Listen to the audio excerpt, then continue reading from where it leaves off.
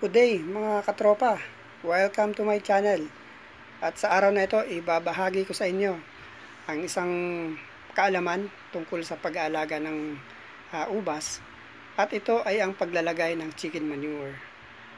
At kung bago ka nga pala sa aking channel, huwag kalilimutang mag-subscribe, i-like, at mag-comment sa ating comment section. Alright, so let's go and let's it away. Mga katropa, pag-usapan natin ang tungkol sa chicken manure. Sinasabi po sa isang pag-aaral ng Department of Environmental Science ng University of Botswana na ang paggamit ng chicken manure ay mas nai-improve nito ang soil productivity at yung crop production. At sinasabi nila na masigit itong mabisa kaysa sa cow manure ng 2 times ano-ano pong mga nutrients ang tinataglay ng chicken manure? Ito po ay mayaman sa calcium, magnesium, sulfur, copper, zinc, chlorine, boron at iron. Ito po ang mga sangkap na kailangan ng ating mga halaman para lumago. Good afternoon once again mga katropa. Welcome po sa aking channel, ang Urban Farmers Notebook. At today, uh, ipapakita ko sa inyo kung paano maglagay ng um, chicken manure sa ating mga ubas. Alam niyo po ba yung chicken manure ay galing sa manok? Gunggong! Barinig kita sa mukha eh! Ito. Ito po yung ating chicken manure. Ensure lang po na ano na dapat tuyo siya bago ilagay kasi pagbasa maapektuhan po yung ating mga ubas kasi meron po siyang parang um, nagre-react po yung ating mga ubas kapag basa po yung ating ano, chicken manure. So ito po ang chicken manure. Tikman natin. Ano gusto mo sabihin? Ako ang mapasama dito! Wag na. So ganito po yan. Ito pong chicken manure na to ay galing sa aking manukan.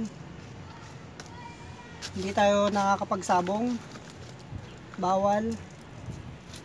Ayan, tumatanda ng ating mga manok.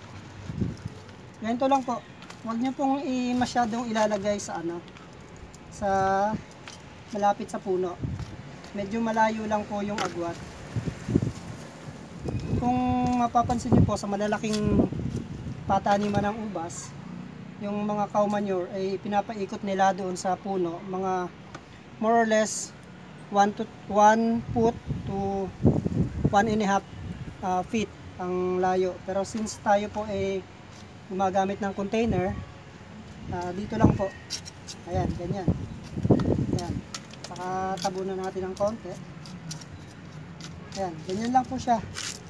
Kasimple Ayan, dito.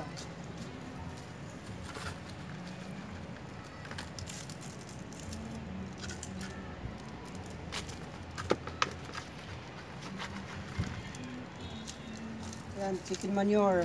Marami mga halo to, mga karton. Kasi yung ating pong mga sisiyo, nilalagay natin ng karton sa ilalim para hindi malamigan.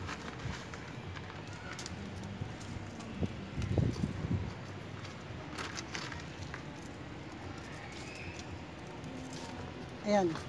At uh, bukas na po natin siya didiligan. Ayan. Pwede na yan. Actually wala naman po sa kanyang overdose kasi po ito ay natural at uh, natural na fertilizer. Ito po ay magandang panlagay sa ating mga ubas.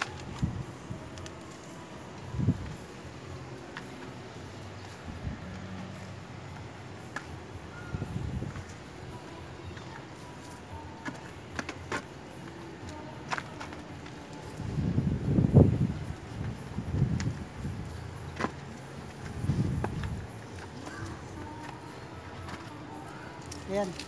Kahit tuyo na siya, mabaho pa rin. Bakit kaya?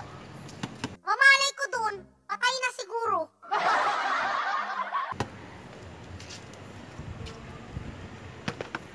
Ayan po, ah, kung paano natin ilagay ang chicken manure. Actually, um, hindi yan kasi ay cow manure. Pero kapag punan wala, sa wala tayo sa probinsya at wala naman tayong source ng cow manure, chicken manure po, ah, pwede na. Alright? Until next vlog, mga katropa. Bye-bye.